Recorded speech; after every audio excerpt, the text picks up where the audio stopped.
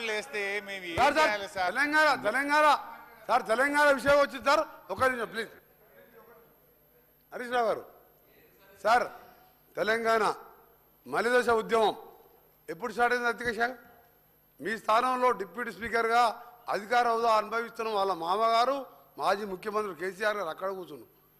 నలభై ఒక్క మంది తెలంగాణ శాసనసభ్యులం చిన్నారెడ్డి గారు జానారెడ్డి గారు ఉత్తమ్ కుమార్ మేము అందరం మేము పోయి మా సోనియా గాంధీని ఒప్పించి మాకు తెలంగాణ రాష్ట్రం కావాలని ఆ రోజు ప్రణబ్ కుమార్ కమిటీ వేపించి తెలంగాణ ఉద్యమానికి కారకులం కాంగ్రెస్ పార్టీ మేము.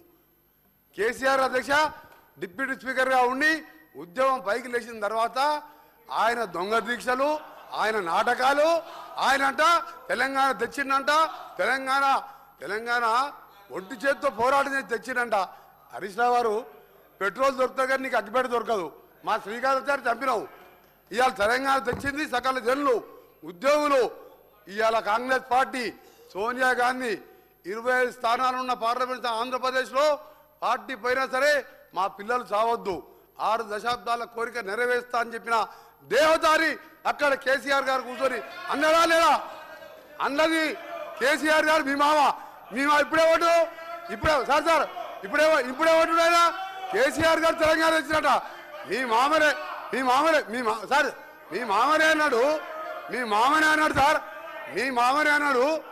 కేజీ ఎవరు ఒప్పుకున్నా లేకపోయినా సోనియా గాంధీ చేపట్టే తెలంగాణ వచ్చింది అన్నాడా లేదా ఆ స్థానంలో కూర్చొని?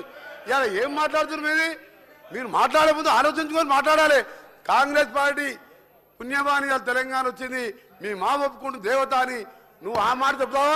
కేసీఆర్కు తెలంగాణకు సంబంధమే లేదు.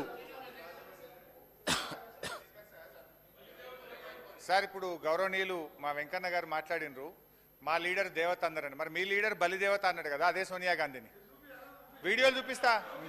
బలిదేవత అన్నాడు కదా.